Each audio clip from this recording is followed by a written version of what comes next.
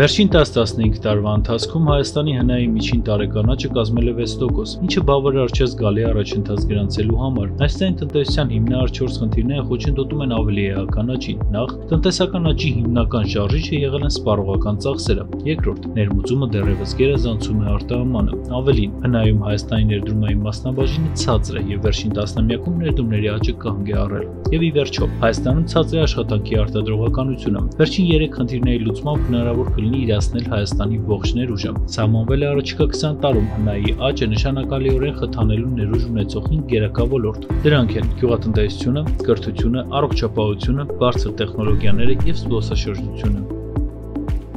Ժամանակակից եւ արդյունավետ գյուղատնտեսությունը ոչ միայն կերաշխավորի Հայաստանի պարենային անվտանգությունը, այլև կարող է ապահովել գյուղատնտեսական արտադրանքի արտահանման հնգապատիկ աճ։ Առաջիկա 20 տարում կենսականորեն կարևոր կուլտուրանայի եւ անասնապահական արտադրանքի ոլորտում Հայաստանը պետք է հասնի լիարժեք ինքնաբավության։ Արտահանման գերազանցության հասնելու համար պետք է առաջնահերթություն տրվի գյուղատնտեսական ապրանքների 6 տեսակի՝ միրգ բանջարեղեն, ծխախոտ, կատնամթերք, գինի, մսամթերք, ոգելից խմիչքներ։ Ներկա իրավիճակում Հայաստանի գյուղատնտեսությունը չի կարող հասնել այդ նպատակներին։ Այնուամենայնիվ կա իրավիճակը նշանակալիորեն բարելավելու 3 միջոց։ Հայաստանի գյուղատնտեսության ոլորտի աշխատողների համար չափազանց կարևոր է գյուղատնտեսական նորարարական պրակտիկայի վերաբերյալ բավարար գիտելիքներ ունենալը։ Դրան կարող է նպաստել Հայաստանում գյուղատնտեսական բարձր տեխնոլոգիաների զարգացումը։ Գյուղատնտեսական կենտրոնները կարող են ծավալել կրթական եւ հետազոտական գործունեություն։ Ճանապարհների եւ ռոռոկման համակարգերի նման ենթակառուցվածքների արդիականացումը մինչև 2041 թվականը 2.5 միլիարդ համախառն արդյունքի հասնելու մեկ այլ լուծում է։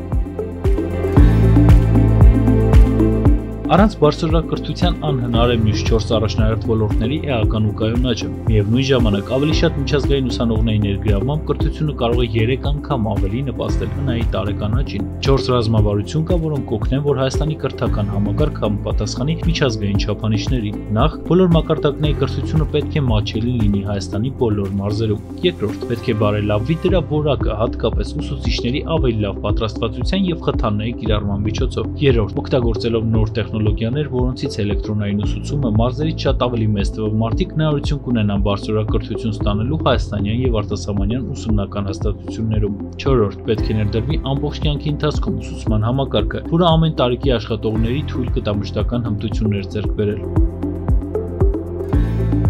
Հաշվարկվել է, որ անհարկի ռիսկերի նվազեցմամբ Հայաստանի կյանքի տևողությունը կարող է 2020 թվական 75 տարուց աճել եւ մինչեւ 2041 թվական դառնալ 80 տարի։ Դրան հասնելու համար կանխարգելիչ բուժում պետք է դառնա Հայաստանի առողջապահական համակարգի հիմնական հենասյունը։ Բոլոր մարզերում արկա ախտորոշման սարքավորումներով եւ առողջ ապրելակերպի պատշաճ կարողությամբ։ Քանի որ Հայաստանի բնակության թիվը փոքր է, հնարավոր է ամբողջովին թվայնացնել առողջապահության ազգային համակարգը։ Հիվանդների հետ ավելի լավ համագործակցության եւ յուրաքանչյուր առանձին դեպքին հարմար հարմարեցված մոտեցման հնարավորության ստեղծմամբ, սակայն այդ բարելավումներն անհնար են առանց համապատասխան ֆինանսավորման եւ պետական աջակցության։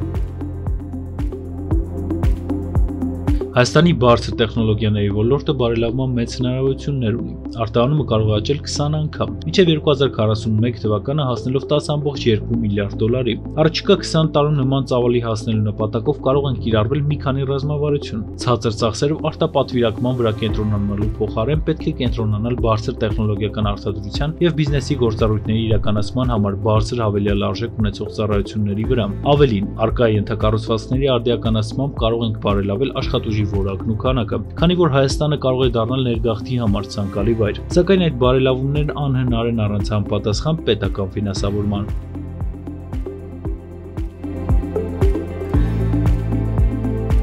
Մինչև 2041 թվականը Հայաստանի զբոսաշրջության ոլորտի եկամուտները կարող են հասնել 11.5 միլիարդի, ինչը 8 անգամ գերազանցում է 2018 թվականի ցուցանիշը։ Այս ցուցանիշին հասնելու համար ներկայացվել է 5 հիմնական առաջարկություն։ Նախ տեղեկատվական եւ շուկայավարման ռազմավարությունների օգտագործումը սոցիալական հարթակներում կվերածի Հայաստանը զբոսաշրջության ցանկալի վայրի։ Երկրորդ, զբոսաշրջության տարբեր տեսակների զարգացումը Հայաստանը գրավիչ կդարձնի բազմաթիվ թիրախային խմբերի համար։ Երրորդ, ոլորտի աշխատակիցները պետք է վարժ տիրապետեն մի քանի լեզուների, հատկապես անգլերենի, չինարենի եւ ռուսերենի։ Վերջապես կպահանջվի անհրաժեշտ ենթակառուցվածքների արդիականացում, հաջող պահանջարկի բավարարման համար։ Հայաստանի առաջընթացի գործում հայկական Սփյուռքը կարող է էական դեր խաղալ 3 մակարդակում։ Միջազգային մակարդակում Սփյուռքը կարող է պաշտպանել Հայաստանի շահերը եւ ընդլայնել շփման միջակայքը։ Ազգային մակարդակում ի թիվս այլ գործերից Սփյուռքը կարող է զբաղվել բարեգործությամբ եւ նրա անդամները կարող են հանդես գալ որպես օտարերկրյա ներդրողներ։ Անձնական կամ խմբային մակարդակում Սփյուռքը կարող է նախաձեռնել կամ նպաստել տեղական տնային տնտեսությունների կամ հատուկ նախագծերի զարգացմանը։ Այս առաջարկություններին հետևելով Հայաստանը կարող է գրանցել տարեկան 10% կայուն տնտեսական աճ։